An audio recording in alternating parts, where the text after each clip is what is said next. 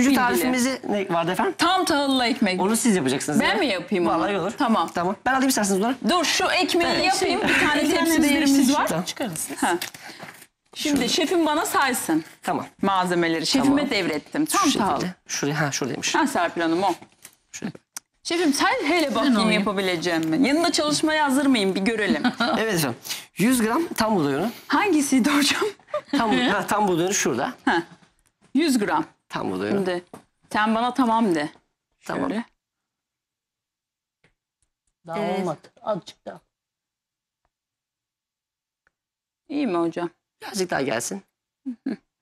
Geçti mi? Tamam. İyi mi? Evet. Tamam. Şöyle 100 gram da Hadi bismillahirrahmanirrahim. Şuradan Allah'ım unu sen vereceğim size. utandırma. Şef ben verdim. tamam. Ne vereceğiz? 100 gram Yüzde da çavdar. tam bakayım. olduğu için Şeyini koyman lazım. Dur koyacağım koyacağım. Kef, kefeydi adı. cefe. Kefe. Ben şimdi onu göz kararı ayarladım bak. Heh, Süper. Az daha. gördün mü? Tam. Tamam mı? Tamam. Benim dürbünüm yok ki bak. Ben onu aldım oradan iki kepçe. Hanımlar şimdi herkesin evinde bundan var. Tartı yok ama bak sizin için detaylı tarif veriyorum. Şimdi bu kaşıkla iki tane. Böyle bak. İki tane bunu koyun bu 100 gram. Evet. Bak ne güzel tarife döndürdüm. Ben de zaten gecede 2000 tane 3000 tane yapıyorum. Şu bir tane iki tane beni yoruyor. Değil mi? Doğru söylüyor. Bak 2000 şimdi. tane üç tane yapıyorum. Bazen böyle hani hamurlar Şimdi. geçiyor falan. Bir paket şey, kaşık kuru maya. Tamam kuru mayayı koydum. Çünkü neden kuru maya veriyoruz? Heh. Ev hanımlarımız daha Evde yeni başladı. kuru, tabii. Yani ha, ekşi mayayı da hemen bir anda kabartamaz ev verirler, çalışamıyoruz. Yani onun için profesyonel bir ekşi maya. Var. suyu koy. İki tatlı kaşığı ekşi maya. Tamam. Ne Bu kadar şef? Bir yemek 160. Sen bir su bardağı koy Serpil. Bir Ee, tatlı kaşığı da tuz. Bunu bir yemek kaşığı ayarladım. Ben bu zaten iki tatlı kaşığına denk geliyor hanımlar. Bilginiz olsun. Beyler de aynı şekilde çok özür diliyorum. Şu- Bir de tuz. Yani bir kaşık tatlı kaşığı tuz. Hadi bak. Ortasını açıyoruz. Suyumuzu bir tartalım. Tartalım bakalım. Suyumuzu bismillahirrahmanirrahim. Ne kadardı? 160. 160 gram. Gel bakalım. Gel, Ama siz de birazcık ilk ekmek tarifine 150 gram verin isterseniz. 100 gram oldu şu an. Eskiler ne kadar güzel görüyor musunuz? Yani 150 nasıl böyle hassas İyi mi hocam? etti? Evet. Evet. Serpil Şöyle al bakalım. Şurada şimdi tartımın içinde de şey olmuştu onu da alayım. Evet. Onu da alayım bak bu da kaçmaz benden şef. Hı. Şöyle unumu sıyırayım. Çok güzel bir tartım var. Çok şanslısın. Bak kıskandım Teşekkür. seni şef. Estağfurullah. Bundan ben de istiyorum. Bana da Tabii, bul. tabii hemen. Ekipmanları hemen yalnız çok güzel. Şimdi aynı yöne dedi şefim. Hep aynı yöne. Bak çalışmaya başlayacağım yanında. Hep aynı yöne. Çünkü o bize hizmet ediyor. Biz ona değil.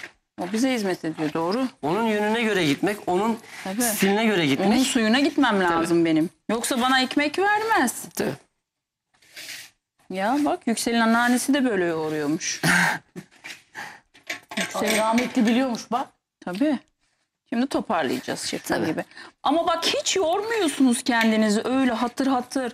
Yoğurayım da iyice özleşsin de. Çünkü bunlar sağlıklı unlarla yapılan. Evet tabii ki bunlar kesinlikle. 500 bölümdür yanlış yönlendirmedim. Normalde öyle yoğrulur. Çünkü e, normal değil mi? Bizim kullandığımız beyaz unlar içindeki gluten açığa çıkaramaz ki hemen. Çıkaramaz zaten. bak. Şöyle bir şey var. Ee, şu an Yüksel, beyaz beni un hiçbir şey bilmiyor sanıyor. aslında beyaz un da tüketilebilir. Gluten de kötü bir şey değil. Evet. Kötü ol, e, hassas olan bizim floramız. Çünkü glutene de gluten aslında bir proteindir. Kesinlikle. Bizim bu proteini almaya da Almamız ihtiyacımız lazım. var. Ama has, bağırsak floramızda bir hassasiyetimiz varsa glutensiz seçim tabii ki daha Oldu doğru. Onun için-? Oldu oldu. Olmaz mı? Nasıl yapayım bunun şeklini? Bunu da tam tahıl dedik ya. Aman tahıllıya yapıştıracağız. Tam bir tahıl deposu Allah olsun. bak yaptım şefim. Aynen. Çalışmaya başlayabilir miyim? Bu da baget gibi Tabii olsaydı yani şef. Tamam. Aç kalmam. Baget gibi olsa olmaz Olur değil da mi? bir gün maaşıma Olur da zam şimdi işime olur. son olursa Naci hocamı bulacağım. Hemen gideceğim. Estağfurullah. Neye batıracağız? Tam buğdaya. Biraz daha ezeyim mi böyle iyi mi? Ha, iyi çok güzel çok güzel. Tam tahıla batırıyoruz. Şimdi aldım. Bu da benim ekmeğim Serpil. Bak. Ekmeğini benimle bölüşür müsün? Bölüşürüm tabii sen. Bayılırım tahıllıya. Şuraya bırakalım efendim. Şuraya bırakıyoruz. Aman. Göz bebeği bak. Yağlı tohumla var üstünden ha. Min, Kaç derecede pişireceğiz şef? Bunları kurban 220 olsunlar. 225 derecede 40 45 dakika Buna ekstra zaman. şekilde gerek var mı hocam? Buna da o zaman sizin için Ne yapalım? şöyle Makasla. yapalım. Bunun da bir inancı var. Ee, Hristiyanlara göre üç bıçak atılır. Öyle miymiş? Aa, Yüce Baba oğlu adına hani üç bıçak. Ne kadar Ama bizde bilgili de olmak. bizde de şöyle bir şey var. Allah birdir deyip tek bıçak atıp somunu aşması o da bizde. Allah birdir diyoruz efendim. Benim ekmeğimde de tek bıçak oluyor efendim. Çok güzel. Çok teşekkür ederiz. Kaç derece? 220 220. derecede 20-25 dakika 30 dakika arası pişer. 20-25 dakika pişirelim Serpil Hanım. Ve benim çorbam gelsin biraz şefim dinlensin. Tamamdır. Hemen, Hemen bir çeşminiger çorbası. Osmanlı sofrasının en özel 220. lezzetlerinden bir tanesiydi aslında. Şef fanlı mı yapayım? Fanlı olması iyi olur. Biraz buhar olayımız varsa oraya birazcık da bir ta, şey, tasla su koyarsak çok güzel olur.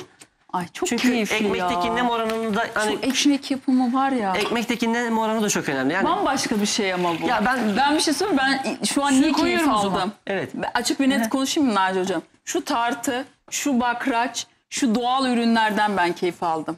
Yani normalde ben mutfağa girsem bu kadar keyifli bir ekmek yapamazdım. teşekkür Bir de ederim. sizin o tatlı diliniz, Teşekkür anlatımınız. Vallahi helal Gene olsun. büyüklerimizin dediği gibi ne yersen olsun diyorlar.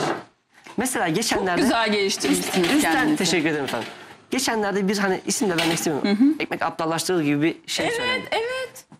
Eğer Ben biliyorum ekmek onu. olmasaydı, su olmasaydı insan fıtratı, nefsi dinozora dönerdi. Ya, kesinlikle. Bir şey bu kadar kutsal bir noktaya Kesinlikle. öpüp başa, başımızın üstüne koyabilecek kadar değer kazandıysa ve bizim medeniyetimizde bu kadar önem yer ettiyse bu aptallaştırmaz, bu güzelleştirir. Ben de. Kesinlikle katılıyorum. Kesinlikle katılıyorum.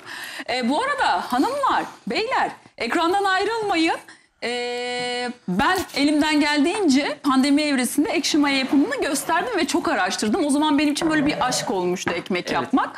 Herkes için aynısı oldu aslında. Hiç bilmeyen de mutfağa girip ekmek yaptı. Şefimden rica ettik. Sizler için bütün detaylarıyla ekşi maya yapımını Evet. anlatacak ve kendisinin 200 12 yıllık. 12 yıllık ekşi mayasından bahsedecek. Evet.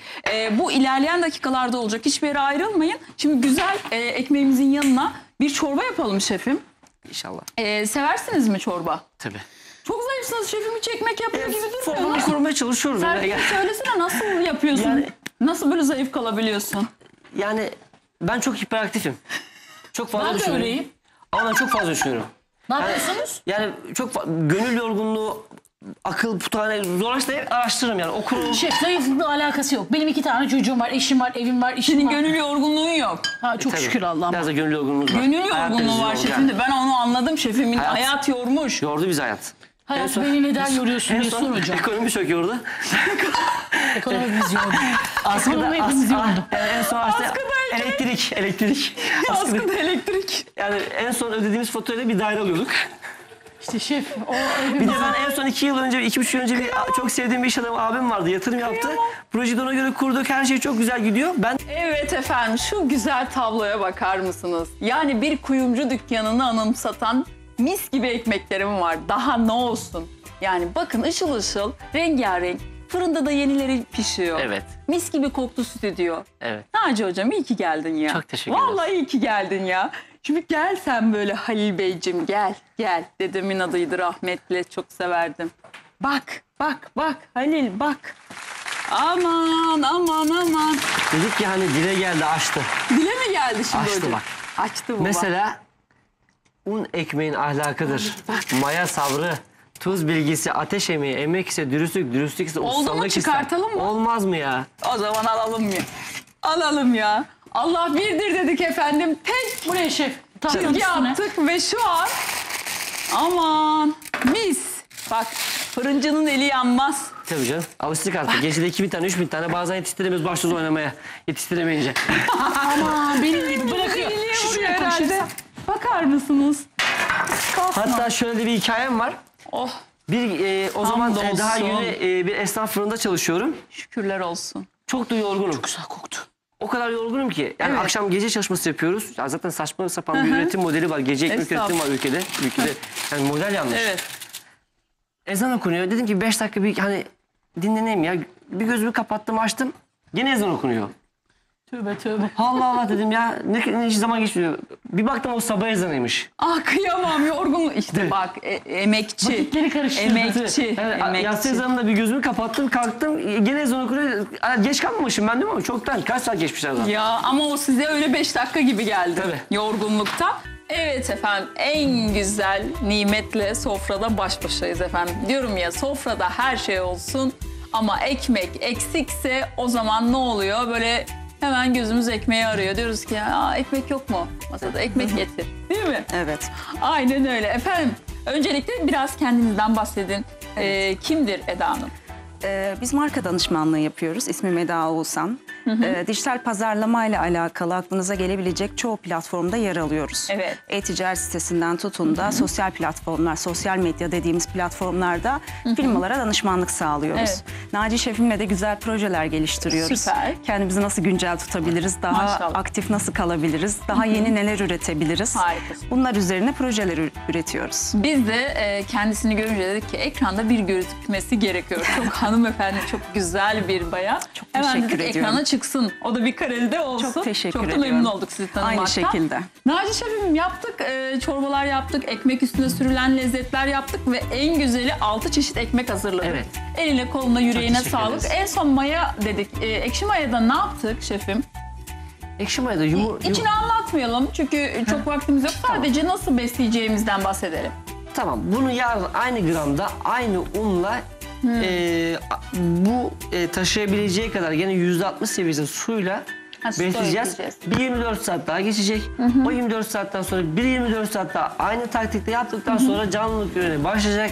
300 yıl, 500 yıl, belki ya. 1000 yıl yaşayacak. Daha büyük kavanoza koymaları gerekiyor değil mi? Orada olmaz. Tabii. Sonra, sonra tüketeceksiniz. Sonra eğer bunun uzun yıllar yaşamasını istiyorsanız hani bir kısmını ayırıp eksi 18'e atabilirsiniz.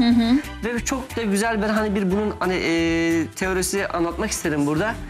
Her şey bize toprak verir, hava verir ama insan eliyle analar verir, doğum, doğurur, can verir Allah da insan eliyle canlanan tek bir varlık ekşi maya. Ha, sağ olun. Çok teşekkür ederiz. Ee, var mı diyeceğiniz bir şey? Artık yayınımızın Teşekkür sonuna geldi. ederiz. Çok keyifli bir programda. İnanın hiç kapatmak istemediğim bir yayında ama Teşekkür ederiz. Çok yardımcı oldunuz. Çok sağ olun. Biz de çok memnun çok büyük Bizler bir şerefti. büyük keyifti bu arada sizlerle birlikte olmak. dışarıdan nasıl ikimiz gözlemlediniz Nermin'in Enfes Mutfağı'nı? Gerçekten çok profesyonellik hissediyorum, hissettim. teşekkür ederiz. Ee, çok akıcı bir programdı. Allah Ee, hiçbir kayda bağlı kalmadan Direkt. tamamıyla spontan gelişen enerjisi. bir programdı. Gerçekten çok mutluyuz sizlerle tanıştığımız için. Efendim biz de çok mutluyuz. Böyle güzel insanlar kalbimize dokundu bugün. Efendim evimizden sağlık, saat, bereket, huzur. Sofralarımızdan sevdiklerimiz hiçbir zaman eksik olmasın. En kötü gününüz bugünkü gibi renkli ve güzel geçsin. En güzele emanetsiniz. Rabbime emanet ediyorum. Yarın saatler 13.00 dediğinde biz burada olacağız. Yarın çarşamba mı? Perşembe mi? Per, per, Perşembe günü yarın efendim size muhteşem bir pazar görseli, muhteşem bir pazar sunumuyla birlikte sadece 100 TL'ye neler yapabileceğimizi göstereceğiz. Hiçbir yere ayrılmayın yarın görüşmek dileğiyle. Allah'a emanetsiniz.